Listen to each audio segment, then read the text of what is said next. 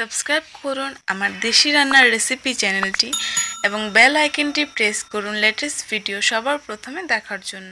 Hello guys দেখেন আজকে আমি খয়রা ইলিশ রেখেছি। তো আজকে আমি এই ইলিশের খুব সুন্দর একটা রেসিপি করব, ভাপা করব এটার।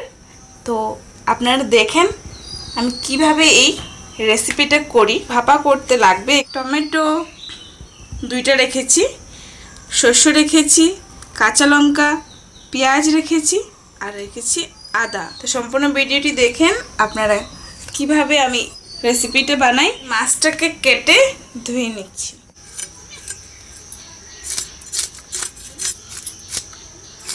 মাছগুলি কাটা হয়ে গেল, ধোয়া হয়ে গেল। এবার আমি পেঁয়াজ দিয়ে দেবো। পেস্ট করে রেখেছিলাম, এগুলি দিয়ে দেব। আমি কাঁচা লঙ্কা পেস্ট করে রেখেছিলাম, এটা দিয়ে দিলাম। আদা পেঁয়াজ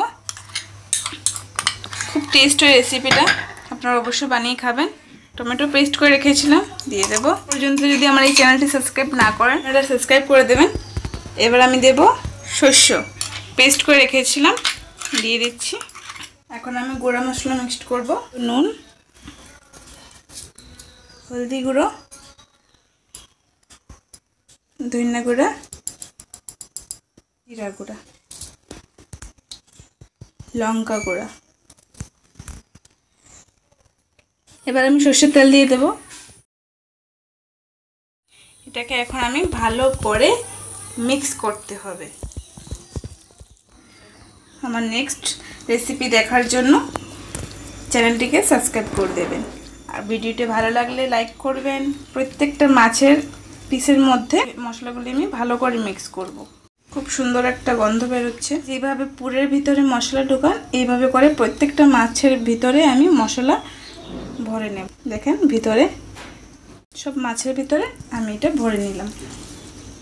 দেখেন খুব সুন্দর করে ভরে নিয়েছি। এখন আমি এটাকে আধা ঘণ্টার মতো ফ্রিজে রেখে দেব। মশলাটা একদম মাছের ভিতরে ঢুকে গেছে।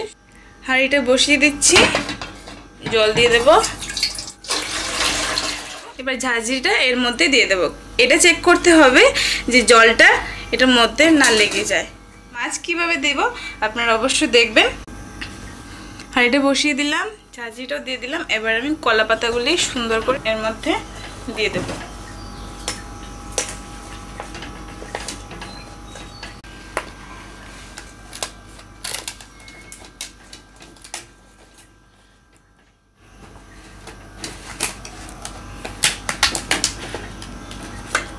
দিয়ে দিলাম। এর মধ্যে আমি তিনটা কলা পাতা দিয়ে দিয়েছি। এবার আমি মাছগুলি দিয়ে দেব। তো মাছে বেশি জল রাখবেন না। মাখা মাখা হবে একদম। দেখেন, সব মশলা একদম মাছের মধ্যে লেগে আছে।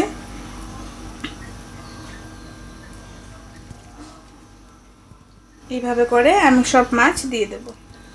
ভালো করে মাছের উপরে দিয়ে দেব।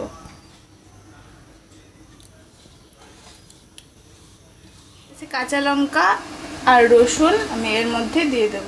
সর্ষের তেল দিয়ে দেব। একটা কলা পাতা নিয়ে নিলাম, এটা এইভাবে করে উপরে দিয়ে দেব। চাপা দিয়ে।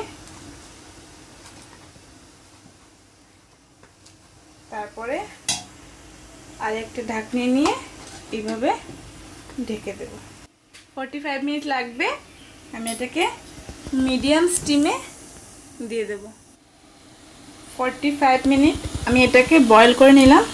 এবার আমি এটা তুলতে যাচ্ছি। গরম কলা পাতাটাই নরম হয়ে গেছে। দেখেই বোঝা যাচ্ছে আমার হয়ে গেছে। দেখেন ওয়াও খুব সুন্দর হয়েছে। দেখতেই পাচ্ছেন।